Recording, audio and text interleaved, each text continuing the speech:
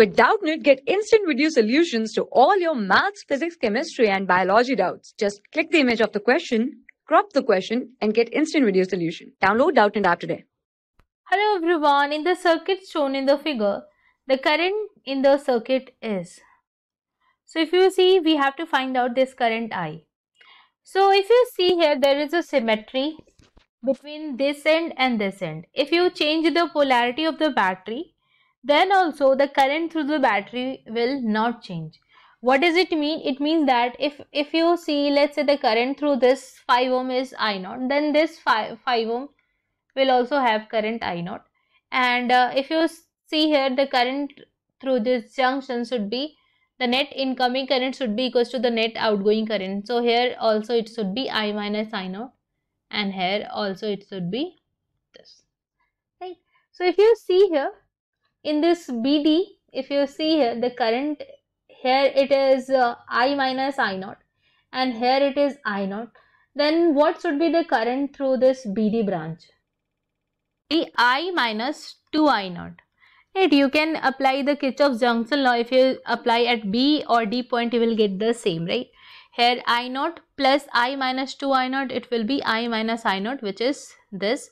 And you can also see here I minus I naught plus if you see it will be equals to i naught plus i minus 2 i naught. It will be i minus i naught right? So now we can apply the kirchhoff's loop law for any two loop. So if, if you see here the potential difference between a and c is 10 volt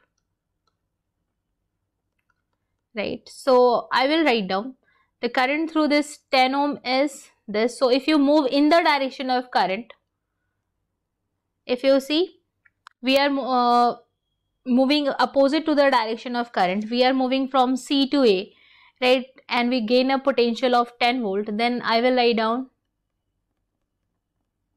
And if you see the potential difference across is 5 it is this.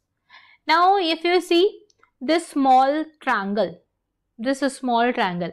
Here if you see potential difference between D and B right?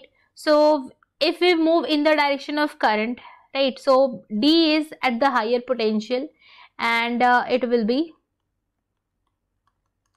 and it will be equals to if you see these two branches here it will be 5 i naught plus it will be 10 i minus i naught. So you can the 10 ohm the direction of current is opposite is in opposite direction. So here it will be negative sign. Now we can solve it. So i will write down 5i minus 10i naught is equals to 5i naught minus 10i plus 10i naught. Right? So 10 plus 5 it is 15 15 plus 10 it will be 25i naught so I took this all I naught term on one side and this is if you see 10i and if you take this 10i on that side it will be 15i. So from here we got i naught is equals to 3 by 5i.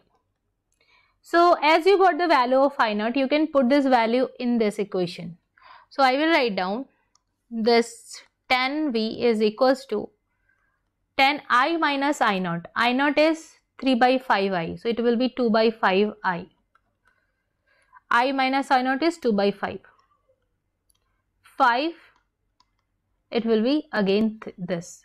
So this is 20 plus 15. So it will be 35 by 5. That is 7i. So from here I can write down this i is equals to 10 by 7a and this is the answer.